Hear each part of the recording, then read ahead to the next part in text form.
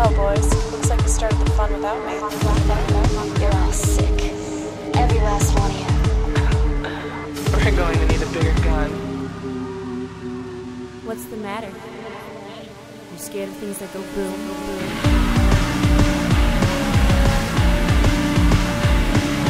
Give me one goddamn reason why I shouldn't blow your goddamn brains all over that goddamn wall. Today, I am Eric, Hi, Eric. and you are Michael, I am. And we are doing double feature. And we have two movies that are on double feature. Sometimes people tell us that we do not do enough comedies. Yeah, that's true. We get that a lot. I think 80% of the movies we do are hilarious. Absolutely. So I don't know what they're talking about. But uh, we definitely have some comedies Yeah, we on do. the show today. What are we doing? We're doing Kiss Kiss Bang Bang and the Invention of Lying. so what was the idea here besides comedy? Oh, it was b- besides just comedy. It was smart comedy. It was a kind of a it was kind of a loaded comedy. Yeah, not just comedy. I Right. guess is kind of what that is. Um, Kiss Kiss Bang Bang is doing a lot of, uh, I would say, pulpy noir kind of stuff. Um, some meta commentary, great narration Mhm. is what that movie is. And actually, The Invention of Lying has some narration Yeah, in it too, which odd is narration. kind of weird. The Invention of Lying is something that I don't think you really need to make a case for Kiss Kiss Bang Bang. I think if you showed someone one random scene, they would know it's kind of something Mhm. different. The Invention of Lying, people are going to be scratching their heads. yeah, that it's that's it's a Trojan horse of a film. Oh, definitely, definitely. So we're going to talk about the actual substance of that, and hopefully people saw it. Otherwise, they're just going to think we're crazy. They might think we're crazy anyways, and I'm fine with that. We're going to spoil both of those movies. It just it sounds funny after. I mean, Invention of Lying looks like a romantic comedy, and now I'm talking about how we're going to spoil it. And Kiss Kiss Bang Bang as well, and that film is fucking spoilable. absolutely. You want to talk about oh that? my god. I think Invention of Lying you need to spoil in order to get people to watch it. Mm-hmm. So that one's probably fine when we talk about that. But first up will be Kiss Kiss Bang Bang. And there's a lot of hard boiled detective mystery stuff going on. I'm not even sure after two watches that I follow it yet. Yeah, it's So- really complicated. So I don't know if I could spoil it, but I think we're going to. So you can use the chapters in your iTunes, in your QuickTime, and in your other stuff. And skip Kiss Kiss Bang Bang and go directly to the Invention of Lying or head over to the end of the show. Which means that Robert Downey Jr. is up first. so Kiss Kiss Bang Bang is it's it's barely disguised. Yeah. It's a yeah, comedy, not really but it's barely disguised as something far greater than a comedy. Mm-hmm. This film has probably three or four layers. Yeah. The first At layer, the very least, three or four, Yeah. I would say. the first thing that you notice about the film is that it's funny. I mean, you get the introductory scene with the little girl that gets sawed in half, Right. and then immediately you get Robert Downey Jr.'s narration. So the narration to this film is Robert Downey Jr. And if anybody has ever seen a recent Robert Downey Jr. film, Iron Man, Iron Man 2, Kiss Kiss Bang Bang, Sherlock Holmes, you know that he has a very specific speaking style Yeah. that seems super offhanded. Ricky Gervais is good at it too. Yeah, yeah. And so having him narrate the film, it's already giving you two layers. You have what's going on in the film, but then you have this second layer where your narrator is kind of stumbling over the film as Sure. you're trying to grasp it anyway. Sure. The first thing you really get about the movie is you realize that your narrator is bad. Yeah, yeah, not a good person. Not an unreliable narrator. I think he's a Right, pretty reliable right. narrator, but not a good guy. The first thing that happens is he's robbing a toy store, right? Yeah, right. and his partner gets shot and this is what quote brings him to the party Right. he stumble he stumbles into an audition i guess Right. and it just so happens the subject matter is about the same thing that just happened Right, to him right. so his performance is uncanny Yeah. because he's living it Because before that part of the movie, it's just Bad Santa. Right. I mean, it's Christmas and we're just stealing toys. right so we see the narrator come in when harry that's harry lockhart that's robert downey jr's character Sure. gets brought to hollywood as i guess he gets brought in as an actor a new a new up and comer Yeah. to to take the place in a blockbuster film. And we find out later he's up there to shave a couple million off Colin Farrell's paycheck. I love that. That's great. um, but So wait, what is the idea there? Just so we're so Colin Farrell wants a lot of money, Right. And so they're going to bring in this new guy and say, you know what, Colin Farrell, we don't need you anymore, and that's supposed to exactly, bring it's the a threat. Negotiations down. him. Okay, They're trying to make Colin Farrell got it. fe- feel like his his job security Right. is at risk. right. So Harry's at the party, and this is when the narrator kind of skips out on stuff, and you realize he's telling the story haphazardly, and he's not. He's not a narrator. Yeah. He's a New Yorker. Yeah. As they say later on in the film. Yeah. The party is where you get introduced to every character in the film. That's why I like the first scene. You get introduced to Perry Van Shrike, which Mm-hmm. is Val Kilmer, who plays Gay Perry, and then Gay Perry represents Dabney, who's who's also Harry's agent. So he plays our private eye in this. Right. He's the one who most clearly resembles. I mean, there's a, a lot of parts of the story that they point to and say, "See, this is like detective novels." Right. Uh, the one specifically that they use. Johnny in the- yeah, in in the film all the time. But he is our private eye. Um, eventually, we'll have two private eyes. Right. And then we also get introduced to Harmony Lane, who is the femme fatale, but a really odd femme fatale because she has Mm-hmm. A dirty fucking mouth. Yeah. And then the third character ends up being the villain, who's Harlan Dexter, played by Corbin Bernsen. But we get this great scene right in the beginning, and the narration is what gives it away. The scene, I don't know if you remember it, but Harry and Gay Perry are talking, and they're talking about how Harlan Dexter's daughters come back and drop the lawsuit, and everything's Right, great. right. And then the film stops in the in mid reel. There's a Mhm. there's a tape scratch sound, Yeah. and the narration comes over and says, "Oh, gee, I wonder if that scene will come Yeah, back." right. It's calling out the hamster style. Yeah, it is, Is what it is yeah. right there. Yeah. And that's And that's like- not the only hamster style Right. we're going to get. There's also the pistol that comes back as well. So they point out one hamster style and they say, oh, I wonder if that's going to come back. And they introduce something else that comes back that they don't point out to you. Almost like the hamster style is the red herring as well. Right. Well, that's what you find out with a lot of the narration is that it calls out the bad film stuff that mm-hmm. the film does. Right. Which allows it to get away with Exactly. doing the bad film stuff. A lot of times, if a film calls out that it's doing something, that doesn't make it okay. No. But this film has two things going for it. One, the narrator's funny. Yeah. And you want to just laugh. You laugh first, think about it later. And the second thing is you understand that the film is supposed to be mysteriously paralleling one of these pulp noir books Yeah. that came out in the 50s, the Johnny mm. Gossamer books that they talk about. So another one that's really good with the narration that I love is at the end. Perry wheels himself in after being Yeah. shot, and the narration comes over and says, "Oh, gee, yeah, I know, boo hiss. I don't like when they bring people back either. Well, fuck, why don't we just bring every fucking person back?" And Abraham Lincoln walks yeah. in. That's the best one. And you have Elvis at the end too Right. trying to get in the door. And then another one that they call out is the end of Lord of the Rings, Yeah. the third Lord of the Rings. Well, as soon as the epilogue comes up. Right. And that's the feeling you get. You know, I've seen it, like I said, I've seen it twice, and I did not remember anything about it uh, the second time around when I watched it. And I had that reaction. And then I remember having the reaction the first time. Soon as I get an epilogue, I mean, they close the film, and then here comes the epilogue, and that's exactly what you think to yourself. So the film gets away with a lot of this stuff by saying what you're thinking almost before you even know you're thinking it and then it almost gives you shit about it. I mean, in the instance where he, um, you know, he wheels in at the end, Robert Downey Jr.'s character, you know, that narration basically says, "Well, that's how it's happened. What, Yep. you know, what the fuck do you want me to do Yeah. about it? Lie to you about it? You know? Yeah, they say that's how it goes. That's how the story goes, Mm-hmm. and and and that's normally how a pulp book would end. It Right. ends kind of on a good note because pulp books are always lowest common denominator. We talk about that a lot. Yeah. but they're just meant to appeal to the mass of people. If you want to go all the way back to, it's weird because it's a Robert Downey Jr. movie too. But uh, the Singing Detective, which was the the first fucking movie we ever Yep. did on this show, you know, with uh, Twelve Monkeys, that talked a lot about those old pulp books as Mhm. well. So another thing that the film does that kind of diverts it from the pulp aspect is Mm-hmm. it's actually it's a two-parter. One, it realizes the rules. Mhm. It takes things that are normally, you know, luck and chance and smoke and kind of goes, no, that's not how that would ever work in real life. And the other thing it does is it paints a realistic portrayal of Hollywood and that works as an antagonist to the story.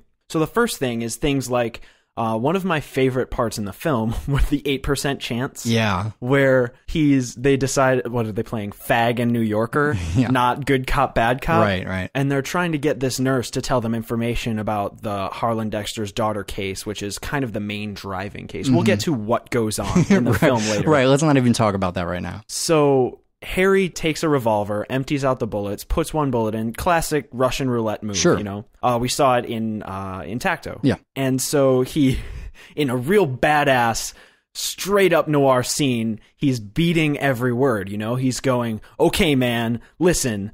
Where is the girl?" and blows the guy's head clean open. Well, right, because he doesn't think that the bullet's going to fire. I mean, that's the thing about the noir stuff is luck is always on their side. And it's suspension of disbelief that you just have to believe that in that instant, that was the, you know, the lucky or unlucky shot, maybe Right. in that case. um, where the bullet just happens to not be in the chamber. It's not that round, and the first couple clicks, you know, the- scare the guy, and uh, you get the information that way. That happens in all other pieces of noir. Right. This is the one occurrence where luck is never on his side. Uh, maybe even on the side of the other characters, but never on the side of Robert Downey Jr.'s character. Everything he does is unlucky. It's almost, you know, if you're going to flip a coin 10 times, you expect half the times it's going to Mm-hmm. Land on sure. heads. If you flip fucking movies 10 times, all of them always land on heads.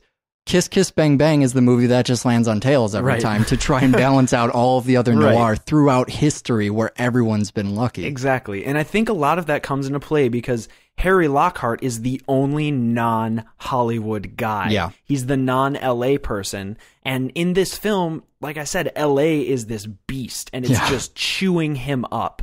Every other character, they correct him on everything. They correct him on his procedure. Mm-hmm. They say don't throw guns into the lake. Right. He's he's trying to do New York crime, Yeah, right? yeah. He chucks the gun into the lake, removes, you know, fingerprints from what might be going on. He pisses on corpses, all the stuff they do in New York all the time. Sure. But then they go on to correct his grammar. right, and his math.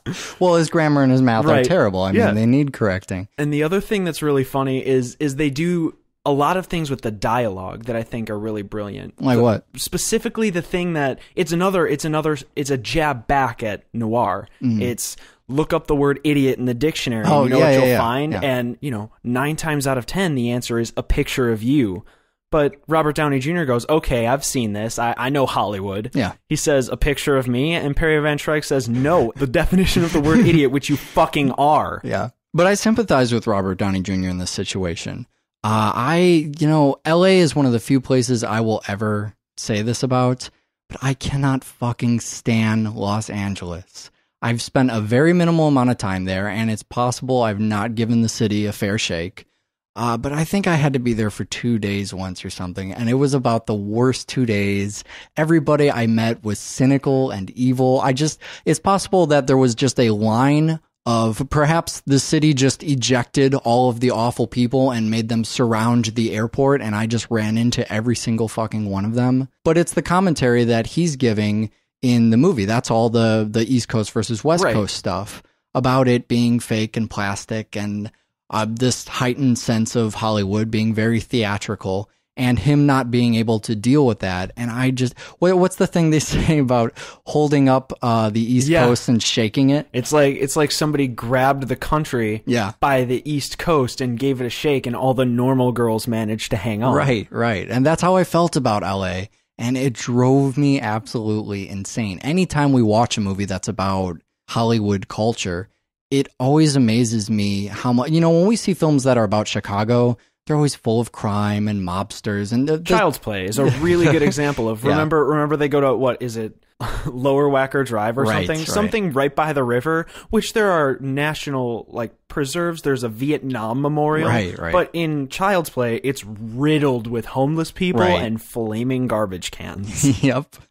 Yeah. Really, the romantic comedies are the only ones set in Chicago that accurately portray it. You know what I mean? What else? We saw Chicago and Candyman. Right. But I mean, to be fair, that's kind of what that neighborhood is actually like. that's pretty accurate So I feel like it's a little unfair that maybe LA is just portrayed to be like Hollywood, theatrical Hollywood, and it's not like that out there. And then I went out there and it was, and I was really sad by that. Well, and the film knows that. The film uses that to its advantage. It takes the fish out of water thing Yeah. and kind of kind of it like I said before, it lets Hollywood swallow Harry. Mm-hmm. He loses a finger and then a dog eats it. I mean, God. literally Hollywood is swallowing Harry Right, Lockhart. right. But one thing great about Hollywood is bullets go through stuff, right? Yeah, that's another example of taking some of these movie cliches, and th- it doesn't even really point those out, but it's it's twice in the movie that someone is fired at, and the bullet either you know in the very beginning the bullet grazes his Mm-hmm. uh, shoulder, and then later the fucking bullet go-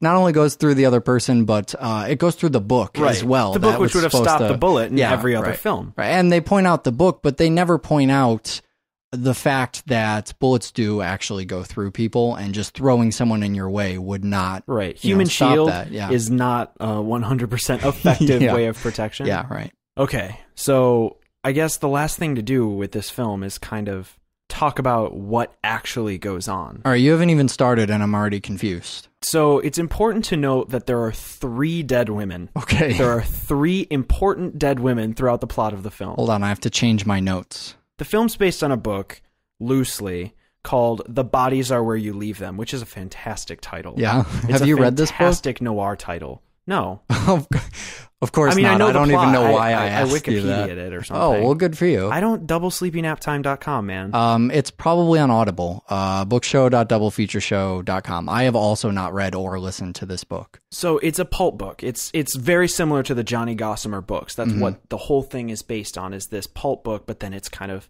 it's modernized. I love the idea that you would base a movie on a book and then use your movie to make fun of the book. That's Right. great. That should happen more.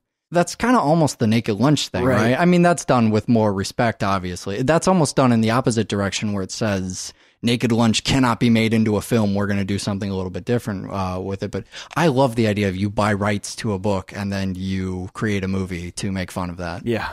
Okay, so there are three dead women, and Got they're it, all important parts to the crime aspect of the film. All right. Okay, so Harlan Dexter is this Hollywood ex Hollywood actor, now Hollywood hotshot, Mm-hmm. who was in the Johnny Gossamer movie, which went through Indiana, which is where Harmony and her sister both live. It's also important to note that Harmony and her sister have an abusive father who's raping her sister night after night. They touch on it in the very last scene of the film. Yeah, the guy the Perry end. smacks him up, and he's ooh, he's creepy. Does that guy not remember what's going on? He seems pretty genuine in how he he just feels like he's an asshole. He's, why are you coming in here smacking me around? Maybe he's senile. I, I don't know if he's senile. I think a lot of times people think that it's okay. I mean, Yeah, I don't think you can really Or continue denial. to do something. Exactly. Kind of like Magnolia. Remember that plot Yeah. thread in Magnolia? I won't tell you which of the 35 characters that applies to, but yeah, that was something we saw there too. So the three people that die in the film are Harmony's sister, a character actress played by Shannyn Sossamon, who's a character actress, Okay. and that's the one with the pink wig. Got it. Pink wig. And then there's a that. third character who we never see alive, and that's Harlan Dexter's actual daughter. She's the one in the back of the car that goes Yeah, flying off the cliff. Those are the three bodies.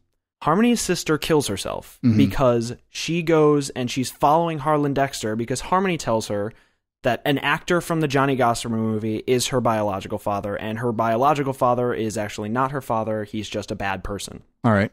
Harmony's sister sees Harlan Dexter fucking the girl with the pink wig, Got it. thinks it's her shiny new father Yeah. yeah. fucking his daughter. Right. So it's it's the same thing from Right. before. The okay. Yeah. so I- she kills absolutely. herself in disgust and then Yeah. hires Perry to film incest, Mhm. which is where they go, and f- that is when they find Harlan Dexter's real daughter, who has been killed. In they find her in the lake in the Mm-hmm. back of the car. So the only living character now, the, the only living female, is the character actress who Harlan has hired to play his daughter in order to withdraw the lawsuit and everything goes kosher in the family. Right. Right. And that's who he's fucking. Mm-hmm. Obviously, he's fucking this actress. And it's not incest. It's not incest. It's important to say that it is not incest.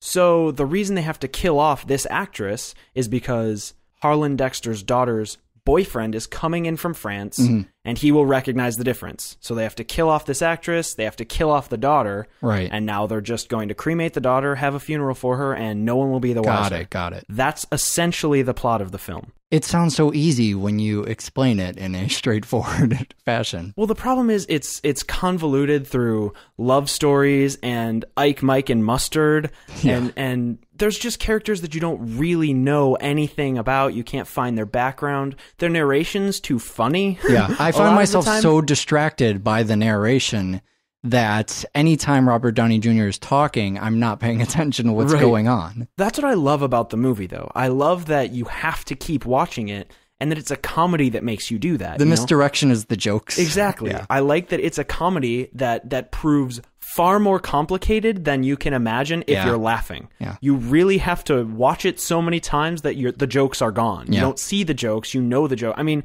you can attest when you and I were watching, Yeah. I was saying You mouth the, words lines. like you're at your favorite band's concert. I mean, it takes a lot of watching to understand the plot and not just be cracking up at the jokes. And I didn't I didn't say it, but I think it's the funniest movie. This is pretty much the opposite of what you would find with any other. I mean, you talked about it in the intro. We talk about this stuff in the show all the time. Lowest common denominator.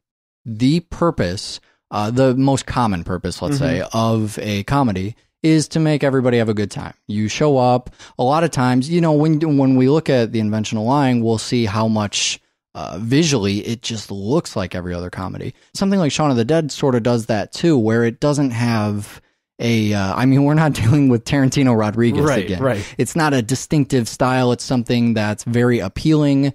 Uh, that's just not its intent. It's not its focus.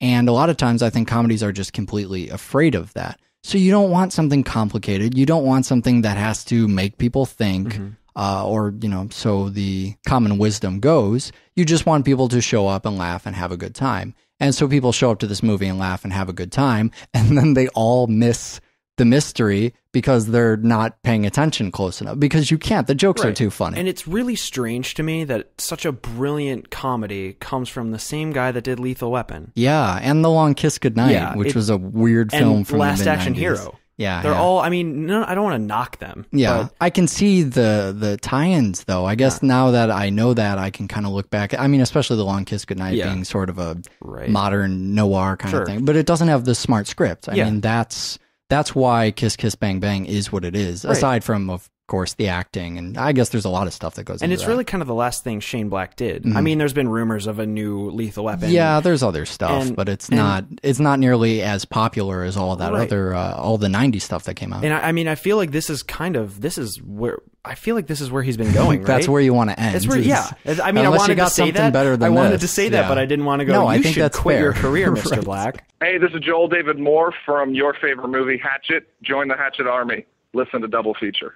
Well, I suppose we just go 180 then and talk about Ricky Gervais. So let's just talk about Ricky Gervais Yes. first before we. I'm going to make my case for this film. It's going to happen, and Do you it. you agree with me I about totally this stuff, okay. right? Mm-hmm. I should say right now that Eric and I are on the same page with this film. All right, all right. So Ricky Gervais, we somehow never talked about on Yeah. the show.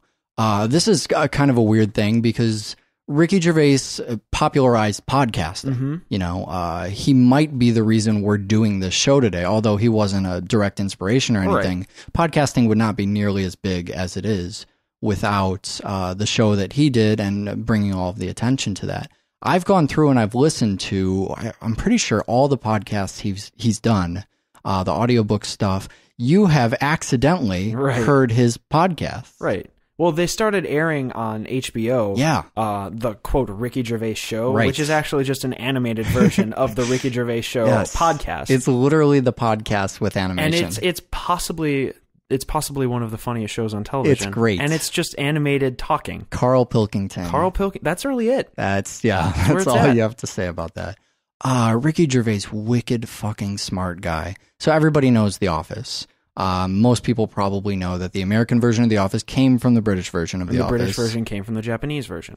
What? Uh, and Ricky Gervais created the British version. The Japanese version actually came from the American version. So, did you know there was a Japanese version of The Office? A real Japanese I, version. I haven't verified that, but I do know that it's know- been localized to 15 different Jesus countries or so. It's ridiculous how popular that show has gotten. It's weird because usually they just dub it and put it out in other countries, but they literally just remade the show in all of these uh, different countries. But, anyways, Ricky Gervais has been doing a lot of film stuff lately. He did a show called Extras, which doesn't get as much praise as it deserves. Mm-hmm. that was another HBO show. Uh, yeah, and another show that was really fucking smart. A BBC production first, and then came over uh, to HBO. But a show that starts innocently enough, like a lot of Ricky Gervais's stuff, and kind of snowballs into handing you a point you did not know that you were seeking out. A lot of the stuff that he talks about in extras is uh, lowest common denominator art Right. versus something that is really powerful, but no one will pay attention to it and how there's very few directors, very few creators who can do both. Most people have to do reality TV or something really base and stupid, and Mm-hmm. that gets popular, or you do something incredibly smart and no one sees it. And the irony of that being that it was on HBO, and when I talk about extras, no one knows what I'm talking right. about. They think which DVD? So, the number one thing that I want people to know about the invention of lying, a movie written and directed by Ricky Gervais, and of course, starring Ricky Gervais as well, and a billion other weird Yeah. cameos. You know, I would hope that the other weird cameos lured people in, but I think we, you and I are the only two that go IMDb fishing, and I don't know if other people do I think that. a lot of, I mean, what it was for me, because so you told me, see the invention of lying, it's smart. And I go, huh? And you go, see it. And I go, okay. That's kind of how we usually Right. do films. yeah, that's that's what happens. Um, and I was watching it going, wow, look at all these people in Yep. this movie. There's Yep. there's Philip Seymour Hoffman. Is that Edward Norton? Yes, it is Edward Norton. There's a John Hodgman part I like. Oh, there's tons, tons of people. Jennifer Gardner somehow wound up in this movie as Rob uh, Lowe is as great in this movie. Rob Lowe in this movie, and half of the cast of Arrested Development, I believe, appear in the film as well. Also, I have to mention that Louis C.K. is in it. Louis C.K. has a new show on FX right now, actually. That's it's a comedy, but it's insanely dark, super, super bleak. At the risk of sounding really pretentious, which is never what we want to do on double feature, but I'm going to do it anyways. The show it's called Louie, and it it's kind of profound in its own way, if that makes sense. Um, I, I don't know. Maybe you'd have to see it to know what I'm talking about. But if you like dark comedy stuff, it's one of my favorite things right now. It's really, really smart. I mean, he writes it, he directs it, and he does the editing, and it's just fucking awesome. All right, back to the invention of lying. So, the number one thing that people need to know about this is that it is not the Jim Carrey sort of bullshit, empty headed comedy it looks like. Right. Even the trailers will make it, the DVD packaging will make it look like that. Well, it's. Seems pre- what's the premise of this film for the five people who have not heard of it? essentially it's it's the what the opposite of liar liar. Yeah. It's uh Yeah. It's it's the opposite of liar liar and not quite yes man is Yeah. what we're going to call this. It's a world where lying has never been conceived. Everyone It's- tells the truth all the time. It's not that people choose to tell the truth, it's that people don't know how to lie. right. They don't know what it is. It doesn't exist there. And one man discovers the ability to, to to make up stuff, make things up and say the the untruth. So you uh, you see this trailer, and it's of course all of the stupid moments you would expect. Right. It's the moments where he tells a chick that the world is ending so that she'll bang him. That kind of stuff. Right. All of that. The fucking Yes Man trailer. You mm-hmm. know what I mean? It's all of that stupid shit, and it all happens pretty much in the first fifteen minutes of the film. I mean, by the time he invents lying, they go through a two minute gag reel of that stuff to get it all out of the way. Right. And then the film advances far and fast. So even as I was getting into all of the Ricky Gervais podcasts and really enjoying them, I would see this trailer, I would see him do interviews different places, and the people asking him questions for the interviews were asking the kind of questions you would you would fucking ask Adam Sandler when he was Right. doing Click Yeah. a remote control that controls real life. A movie that takes that premise and then tries to stretch it out for two hours, like any of these comedies do. So you had no idea. It's only by sheer accident that I gave in, watched this, and went, wow, why is no one talking about all of the mm-hmm. other crap going on in this movie? I would never have seen this. No, film. not at all. Not at all. So it's a disguise. I think that what's going on in this movie, it's fully aware that it looks like a bullshit romantic comedy. It knows that in the trailer. And I think maybe even if it's not intentional, it is a wonderful disguise. Yeah. If you can say anything, one thing about this movie, I think that it's smart. I think that's what you say about it. I usually, whenever people ask me what it is, Mm-hmm. I essentially go, "It's a brilliant Ricky Gervais movie." Yeah, there you Brilliant go. is the Yes. word I use. I think it might even be better given that it has this uh, this romantic comedy thing that pushes people away. Because then the people we talked about this a little bit with South Park. Uh, I'm working on a whole fucking side thing that just runs with this premise right now. That maybe I'll announce five years from now when I actually goddamn finish it. But I'm doing another show that runs with that entire premise of disguising horsing. yeah trojan horsing something disguising something and handing it to people who didn't know they wanted it we talk about that with our show and the skepticism stuff yeah, well, it's a lot of it's a lot of it's taking something very very intelligent, smart, and necessary, something people need to examine, and putting it in a lowest common denominator Mm-hmm. Package. candy coating. That's Yeah. what it is. Yeah. like you said when we were watching the film. I'm not gonna I'm not gonna go in. I'm, I want you to expound on this Sure. because I don't want to. we'll get to what we're you. talking about eventually But what you said is it's really important because it shows an audience that would never No. think about this Yeah. stuff. It shows the lowest common denominator audience something that they aren't prepared for and that they're not going to think about. the very audience who needs it the most they are the people who wander into this you You know, we can talk about pretentious art films all day long,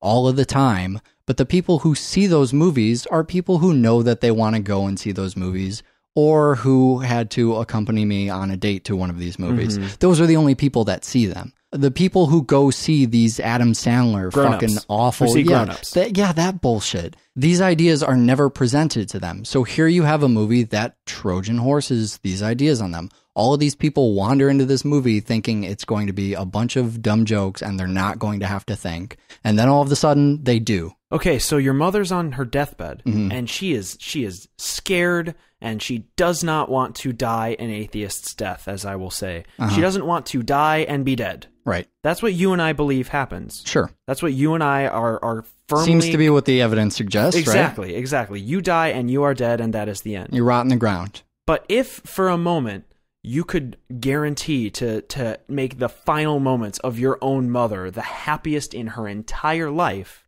what would you do? Or what would you do if you were Ricky Gervais? Well, Eric Ingram. All right, so here's where it where it presents this to you. It play. You know, I love thought experiments. You know, I love when films uh, do this. So this is a world, um, unlike the fiction of, say, Constantine or that movie with the paintings and the Robin Williams. What was that thing called? Uh, what dreams may come. God, that was terrible. Unlike those movies, this movie is set in a fictional universe, much like ours, where there is no God. There is no afterlife. You die, and that is it. And because there's no lying in this universe that's in the film, everyone knows that. The concept of God does not exist. So, what Ricky Gervais does in this moment, he's been playing the experiment constantly of what can I do with lying? All the gags you would hope to see from the trailer, all your mm-hmm. favorite bits. But this is when the movie gets heavy, and it gets heavy pretty fast.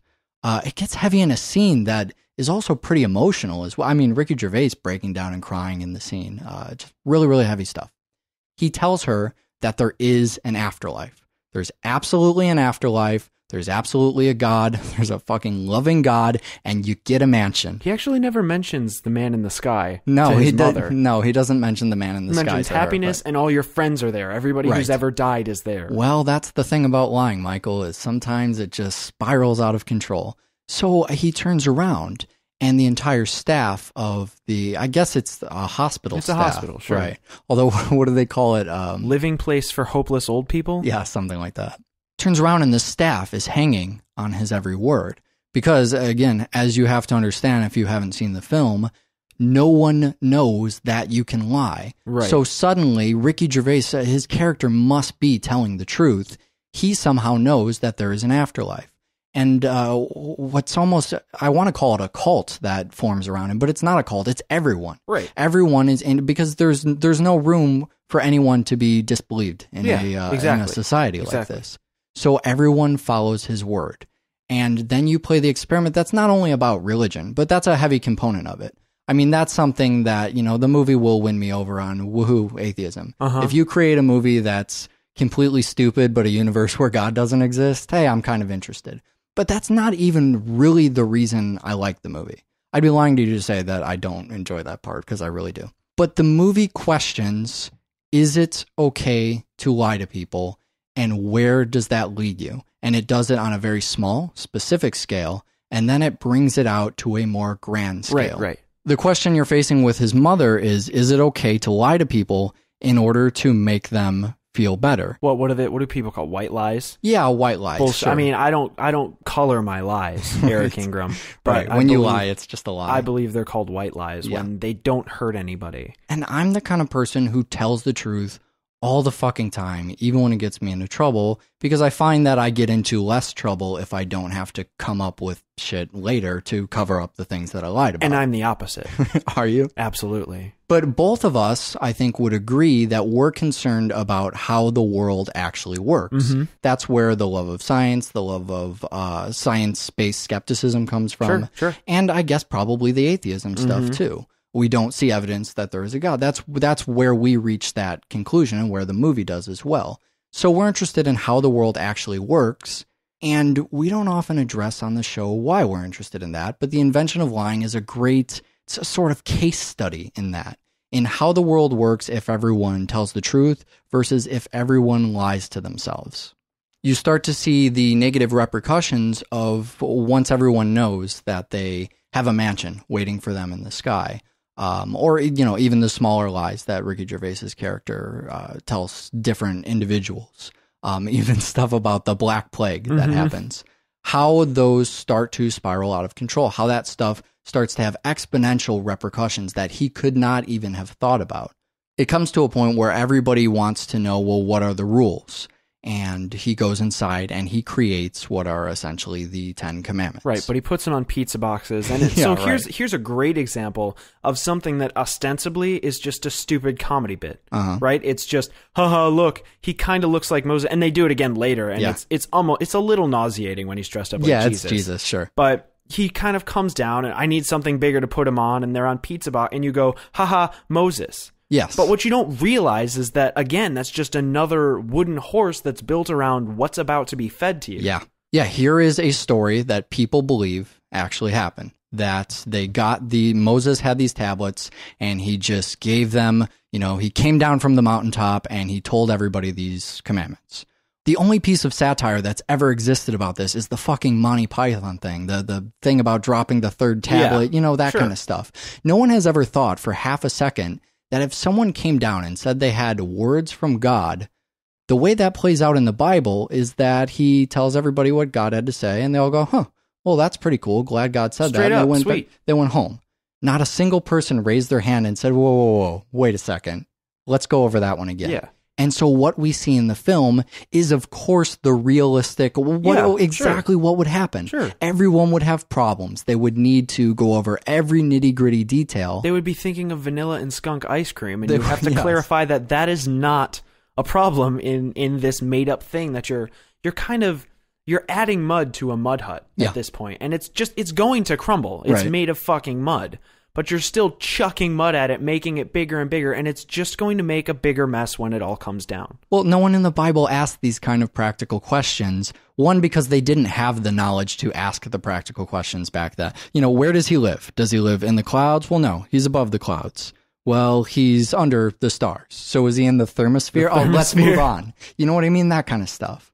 But if the event from the Bible had actually happened, which by the way, it didn't, Right. but if it had actually happened, people would have asked questions forever. That meeting would still not be over today. Well, people are still asking questions today. Yeah, I mean, yeah. I come from a Christian background. Uh-huh. I am not Christian. I do not believe in God. I think that's that's pretty I clear. just want to make that clear. But I, I mean, I was raised Christian. I went to Catholic school till I graduated high mm-hmm. school. I went to church weekly. Yeah. It- I mean, I know I have the information. Right. And I mean, honestly, if you want anybody to become an atheist, put them in Catholic school. Have them read the Bible. Eighteen. That's it. Put it on your summer reading list. the thing is is that people still don't have the answers you know is smoking suicide is Right. a is a really good common question Yeah. you know don't smoke that's killing your brain cell i don't know Yeah, killing right. your brain cells is the same as killing you because dying slowly is still dying Right. and suicide is the same as killing and killing is murder and murder is bad Right. it's these backwards steps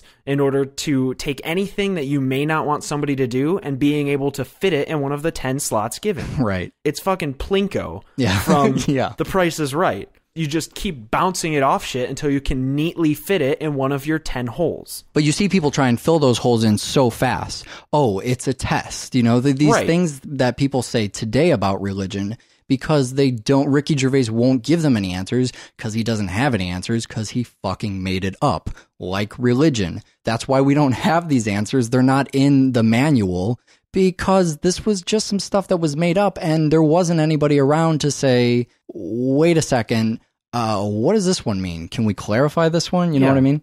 To step back from the religion thing, uh, the movie also asks about shades of the truth. Um, you know, lying by omission or optimism versus pessimism. You know, that scene where they're sitting on the bench and uh, Jennifer Gardner's character looks at everything uh, pretty pessimistically. I mean, uh, lying also Mm-hmm. Well- in this world apparently means being an asshole. She she looks at it superficially. Yeah. That's what it is. Yeah. And and that's that's kind of an aspect of of not just her character, but of people at the time because they're looking at things logic. It's a little Spock. Yeah. They're looking at things logically, you know. Sh- her thing is that she won't get with Ricky because DNA, DNA. genetics. she's yeah. looking for a, a good genetic match. cold and calculated. And that's why she's superficial. You know, she sees a fat guy and she sees a fat guy. I mean, you mentioned Spock. These are the kind of reasons people like Star Trek, the kind of philosophical points, challenging points uh, that something like Star Trek brings up. Star Trek is not very accessible. Even the J.J. Abrams Star Trek Right. Is not nearly as accessible as a romantic comedy. Mm-hmm. You know, you have challenging questions. You have to ask people about morality in a world where no one lies. What is the morality there? Uh, he won't sleep with the woman in the beginning, who he tells that the- world is going Right. to end. Uh, that's a question that we wonder: Is that about morality? Is that about? I think it's about it's too easy yeah, for him. Yeah, yeah. I mean, that's originally when it happened. I was, I was wondering. I was asking you, Mm-hmm. you know, what's the efficacy of of lying if you've never done it before? How does one know that guilt Sure. should follow lying? Right. The And I- question is basically in that sci-fi kind of premise: Does that morality, that idea of efficacy, does that come with right. the invention of lying? And I think honestly it does not. But Mm-hmm. then later on the film kind of goes to dismiss that and goes, not important. Look, he's breaking the rules with this bank thing. Yeah. So it's possible that he had other motivation. Yeah. He feels bad later on. I think it's because he's kind of getting annoyed. And I think it's because people are changing their lifestyle. I Yeah. think that's I He think he kind of the implications he of develops the Yeah. guilt as the film goes on. But Yeah. I honestly don't believe that in doing something wrong, in doing something immoral, that if it's the first time it has ever been done, and I'm talking about this from an animal standpoint. yeah, right. You don't realize the repercussions until you've been punished or you've, you know, you've seen the bad that comes from it. Man, that is a heavy question about where does morality come from. But you're talking about first time man stands up on two legs and steals something from another Right. man. Does he know that that is wrong? And uh, the movie standpoint of that, you know, I disagree with you at first. I thought that perhaps the morality did come with the invention. But yeah, you see him rob the bank to give money to the Sure. homeless man. So then you kind of question, well, is this a Robin Hood kind of thing? Mm-hmm. Is he saying, well, the bank has too much money or whatever? Is it a gray area of morality? Yeah, right. And how fast do gray areas of Yeah. morality form? It seems that they appear right away when everyone's not just blatantly telling the truth. When you stop telling the truth, it becomes harder to figure out, you know, the gray area Right. grows. But as the movie goes on, he sees the implications. He sees how far reaching this is and how everyone's Sure. changing their lives. Because in the beginning he's doing good. He's Yeah. lying to do good. We see this almost this superhero scene Yeah. where he's going through, passing by every character we've seen so far in the film, whispering in their ear and changing their life for the better. Yeah. Or so it seems. Yeah. And then we realize that him changing their life for the better just kind of it's a parabola. You know, they go up and then they hit a peak and then his lie eventually starts turning them downward. Yeah, and we get right. to the the new homeless guy, right? New homeless guy who does not give a shit because his mansion is coming. Exactly. I mean, you want a pragmatic reason to not like religion. That's always the one I come back to. If uh, we've talked about this with some of the God documentaries, Right. you know, if you think that there is an infinite life Right. awaiting you the moment you die, and this is just a what a fucking test, right, or Uh-huh. whatever people think it is. Uh, this is finite. You're going to be here 80 plus years, and then you die. Your test is over. You go through the pearly gates, and you are there an infinity. If you could just draw out what 80 years look like on a piece of paper, and then right next to it, just draw out what fucking infinity looks like, the 80 years does not matter. you don't even see it. No, you, you, you don't don't. see it. That's by definition, you do not see it. And that's kind of a wonderful metaphor we've stumbled into because that's exactly how it translates into real life. You lose sight of this life. Mm-hmm. You don't care about it because your mansion. Your mansion is awaiting you in the sky. What the fuck does it matter? It's the it's not just the homeless man, but the conversation they have sitting around the pool, Mm-hmm. where eh, it doesn't really matter. I think I'm just gonna get drunk for a while, Drunk and watch TV. then- yeah, get drunk and watch TV, and eventually I will die, and then I'll get my mansion and everything. You know, I will be happy. That's it. And so this small lie that he tells, uh, this small lie that he kind of tells to the entire world, discourages. They show they show the uh, the classic stupid movie cliche, something you would expect in a romantic comedy, the magazine covers that start Yeah. flying in. Productivity is down. Everybody's thinking about mansions. Nobody really gives a shit anymore. And I feel like that's very realistic. I feel like that is definitely a repercussion of that kind of religious thinking, of that waiting for the afterlife and knowing that things will be good there. The only reason I do anything in my life is because I know I'm going to fucking die. Yeah, exactly. And you only have so much time to do shit. How many how many times do you, does your fucking alarm go off? And you go, eh, I'm tired. Uh, I'm gonna die. Yeah, that's the second. I mean, you Yeah, don't. I mean, not necessarily. You don't necessarily. Your second thought isn't "I'm gonna die." No, that's my second. That's But- my first thought. I wake up and go, shit, I could die at any moment. yeah, Gotta get busy. I mean, I wake up, the alarm goes off, and Yeah. if I honestly, if I felt like I was gonna live forever, I'd be like, oh, what's 15 minutes in bed? yeah, right. 15 minutes on the scale of infinity is nothing. It's But- worthless. But you know, 15 minutes on your deathbed, remembering back Mm-hmm. when I'm gonna die and I know I'm gonna die, laying on my deathbed wherever that may be, and I think back to that fucking 15 minutes I stayed in bed. You'll be pissed. I will be so mad. That's how I feel like religion is holding back human progress. You can say whatever you want about the Catholic Church and condoms, and yeah, all that shit holds back. You know, that kind of bigoted, closed minded stuff holds Right, back right, progress. But fuck, we would be getting somewhere so much faster as a civilization if people had that if people fire saw a lit candle, under their people ass. knew it was a fucking candle. Yeah, yep. Everybody sees, you know, they see the flame, they don't see the length of the fuse. Yeah, that's it. And I think that is probably the uh, the biggest problem that all of the lying in the movie causes. Uh, no matter how many different problems come up because of the lying, that is the one thing. You know, you can have debates about morality day and night. You can talk about the love story in the film, but the one clear message that you walk away from uh, when that movie is over, that having all of these people who were duped by religion that made their lives worse and that made society worse. And all that from a movie that you thought was going to give you Rob Schneider esque fart jokes, right? I mean, no, is there a better place for that? Really? No, is there a better place for that? Man, these are some funny movies. So we have a uh, email address if you want to write to us about uh, the invention of lying or about Kiss Kiss Bang Bang. Um, that is doublefeatureshow at gmail.com. Uh, we have what other stuff too? We what have- else is on the list? We have a website, That's good. doublefeatureshow.com. That's a good. That's one of the things that I made while I realized I was dying and Right, had to get yeah.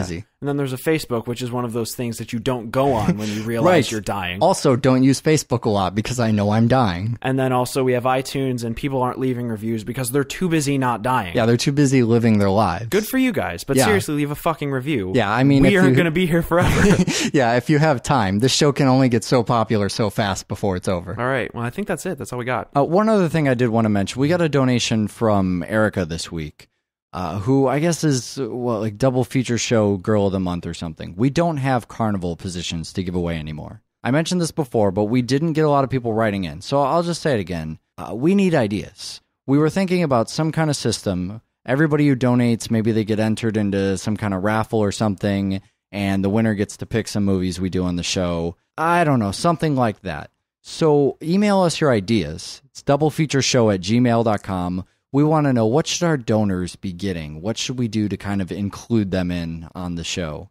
And uh, the other thing is if you actually want to send a donation, everybody who donates this year on the show is going to get entered into whatever kind of crazy fucking thing we come up with. So, Erica, you are uh, what will be retroactive, I guess. You will be retroactively entered into the thing we haven't yet come up with. So, be excited that you're included on that, I guess. If you want to send a donation, go to donate.doublefeatureshow.com. In the meantime, you'll be helping us out a ton. And in the long run, you'll get entered in something cool that we're going to figure out. All right. So, assuming we're still alive Mhm. next week, which, by the way, is an assumption I make every day, that one day will not be true. But assuming it is true, uh, we're going to do some movies next week. Yeah, we're gonna go back. I guess we're gonna we're gonna do another Trojan Horse thing. Are we? We're gonna do secret kids films. Oh, yeah. So, this seems to come up a lot. We don't intend to do that, but it, they just appear, these Yeah. secret kids films. Yeah. So we're gonna do Coraline Mhm. and Little Nemo Adventures in Slumberland. Coraline I saw in the theaters, and I fucking love Coraline, and I get what's going on there. I will tell you, uh, Little Nemo, which by the way is not Finding Nemo. Right. Everyone keeps asking me, "Oh, you're Yeah. doing Finding Nemo?" You know, when they see the schedule, you're doing Finding Nemo on the show. These are people in my life, by the way. Don't look on the website for the schedule because it's a secret. It's not on there. I have been waking up every day for several years next to someone who has a tattoo of this, and I do not know what it is. But you've seen it. Yeah, I've seen it. I've been watching it since I was four years old. Wow, really? Yep. So you're telling me uh, secret kids film thing? Yeah. This is like when uh, we watched The Dark Crystal, and I had never heard of that before. Exactly. Because the Robot Chicken episode hadn't aired yet. Absolutely. Watch more fucking film. Bye.